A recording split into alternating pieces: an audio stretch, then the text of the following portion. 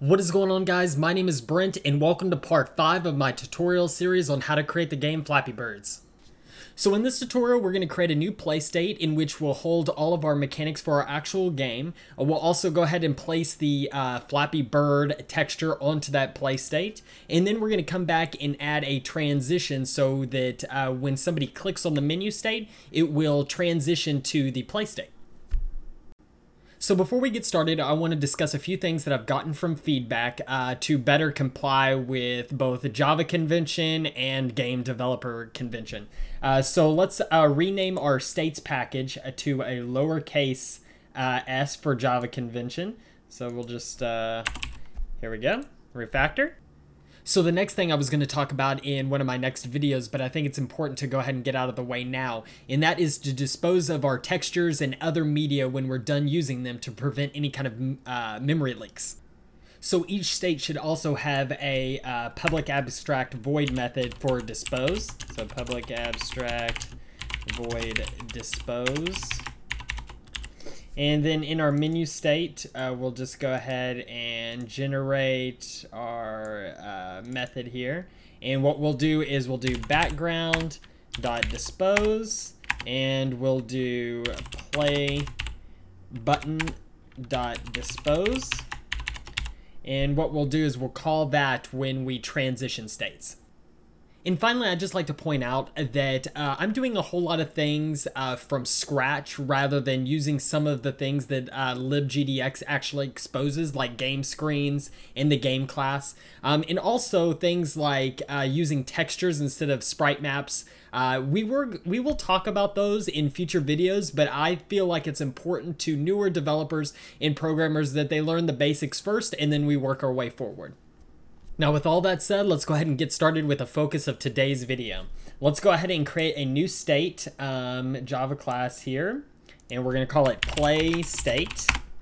And then this is going to extends um, state. We'll go ahead and include all the required methods for a state. So implement methods and go ahead and bring all of those in here. Let's also go ahead and add our constructor. So generate our constructor here. We'll create a new texture. So let's create a private texture and call it bird. And then in our constructor, bird equals new texture. And these are all, yeah, bad logic. Oops. And then we're going to give it, uh, I've created a new uh, bird PNG here, and I'll show you that here in a second. Bird.png. And then all we're going to do is render it to the screen. So down in here in our render method, we need to do sb.begin. If you remember to open our box up, now we'll do sb.draw. We'll give it our texture first, so bird, and then we'll say draw it at 50, 50, 50 in the x-axis, 50 in the y-axis, and then sb.end. Now I'd like to take you back to our menu state and inside update, the first thing we want to do is to handle input. So it's always going to be checking uh, our input to see if the user's done anything.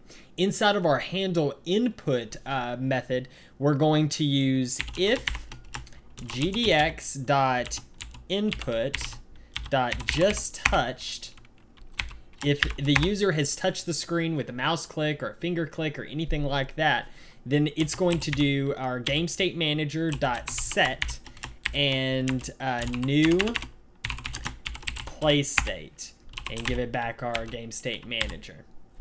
Now, since we're using individual textures, this would be a good time to dispose of them, get rid of them since we're not using them anymore. Uh, that will free up memory and prevent memory leaks. Now let's go ahead and test this by hitting this run button up here. Um, it'll go ahead and build the game and we can see we got our menu screen. Now when I click on the screen, it transitions to a new play state and you can see our little Flappy Bird texture down in the lower left hand corner. So looking at this, our little Flappy Bird texture is a little bit small. Now what we can do is use our camera to set a viewport to only view a partial area of our game world. Uh, so uh, it will appear like the texture is zoomed in. So currently we're looking at the orthographic uh, camera docs for from LibGDX. Um, and we can see we have a set to ortho method on our camera. And what it does is the first parameter is it takes is a Y down true or false. Do we want Y to start at zero from the top of our screen or from the bottom left hand uh, side of our screen? By convention for at least me, I like uh, Y to start in the lower left hand corner. So uh, we will set that Y down to false. The next is the viewport width and the viewport height. That is how much of our game world we're going to see at any given time. So we can adjust that from the actual screen size uh, to uh, make it appear that our game world is, you know, bigger than it actually is. So how big do we actually want our viewport? How big do we want to see the world? Um, I'm guessing about half of this screen, if we just zoomed into just this portion of the screen, I think it would be, uh, it would look pretty good. So let's do um, cam.set to ortho. We'll say false, and then we can use um, flappybirdDemo.width divided by 2 and flappybirdDemo.height um, divided by 2.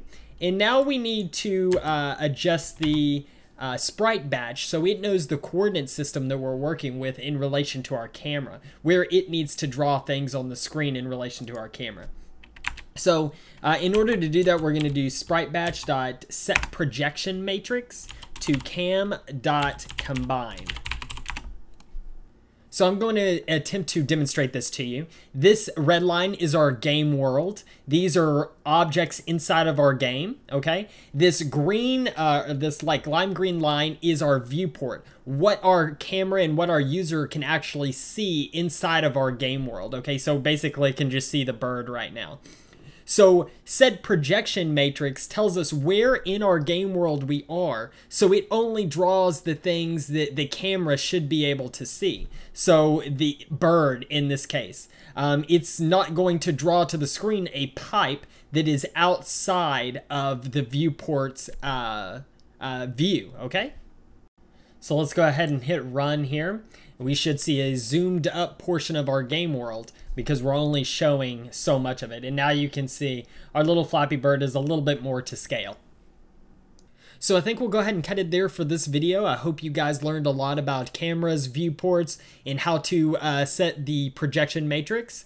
Uh, in our next video, we'll go ahead and take the bird texture out of the play class, create a new class all of its own called the bird class, uh, and in that class, we'll be able to move our bird uh, position-wise on the screen. So if you like this video, go ahead, hit that like and subscribe button. I'd greatly appreciate it. And of course, if you're feeling generous, take a uh, look at my Patreon page. I would give you two big thumbs up for that. And I will catch you guys next time. Thanks for watching.